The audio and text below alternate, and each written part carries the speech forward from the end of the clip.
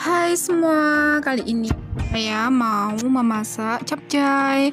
Bahan-bahannya yaitu ada dua buah wortel, ada seperempat kilogram bunga kol. Di sini aku pakai secukupnya sawi putih, lalu ada secukupnya kapri, lalu ada secukupnya bakso, ada dua buah bawang putih, setengah bawang bombay, satu sendok makan saus tiram, setengah sendok teh lada bubuk, setengah sendok teh garam, satu sendok teh penyedap rasa ayam, dan satu sendok teh gula. Oke, kita langsung lanjut memasaknya. Kita panaskan kompornya dulu, lalu kita masukkan secukupnya minyak. Kita tunggu minyaknya hingga panas. Lalu kita masukkan bawang putih dan bawang bombay yang sudah dicincang-cincang. Lalu kita tumis-tumis sampai harum.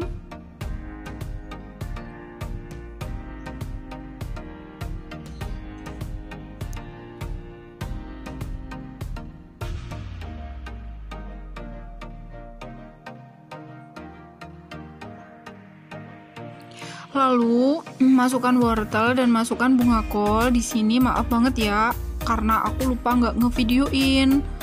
Lalu masukkan kapri dan masukkan bakso. Lalu kita tumis-tumis.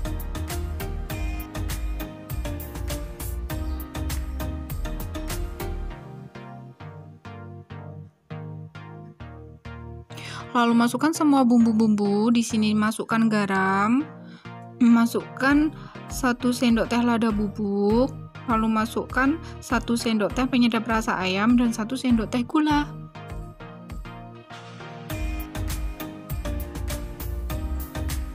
Lalu kita tumis-tumis.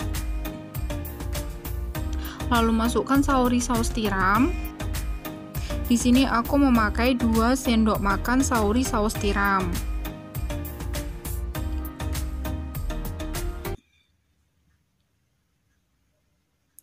Lalu kita masak semuanya bahan ini sampai setengah matang. Setelah setengah matang, lalu kita masukkan sawi putihnya.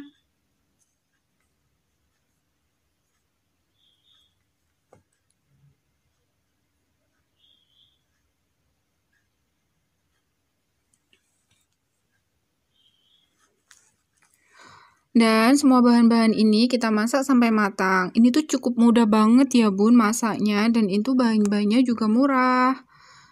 Dan ini tuh cocok banget buat sayur keluarga di rumah. Oke bunda-bunda, capcenya sudah siap dihidangkan. Terima kasih banyak ya bun sudah mau menonton video aku. Jangan lupa bunda subscribe, like, dan komen di video aku. Terima kasih, sampai jumpa di video-video aku selanjutnya.